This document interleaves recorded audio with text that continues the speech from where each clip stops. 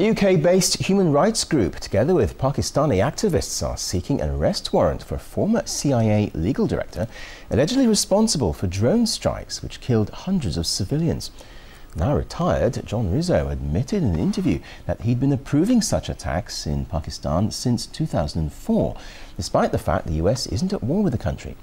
The purpose of the strikes is to target Al Qaeda militants, but the total civilian toll is estimated up to 2,500 people so far.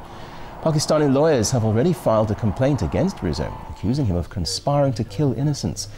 American anti war activist Fred Branfman believes the U.S. is only harming its own interests in the region. The basic justification for this program is that it's protecting America.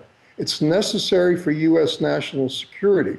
In fact, uh, by all the figures that we've seen, uh, these drone strikes have infuriated the people of Pakistan. They've quadrupled the Pakistani Taliban in numbers and violent attacks. They've moved them east into the Punjabi heartland to the point where they now pose a major threat to the Pakistani government.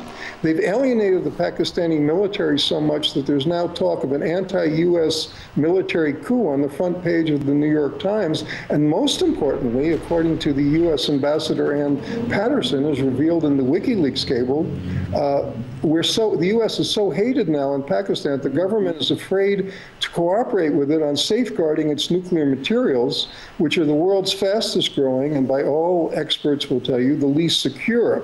So the result of this drone strike campaign is vastly increasing the danger in the United States of a conventional and or nuclear terrorist attack.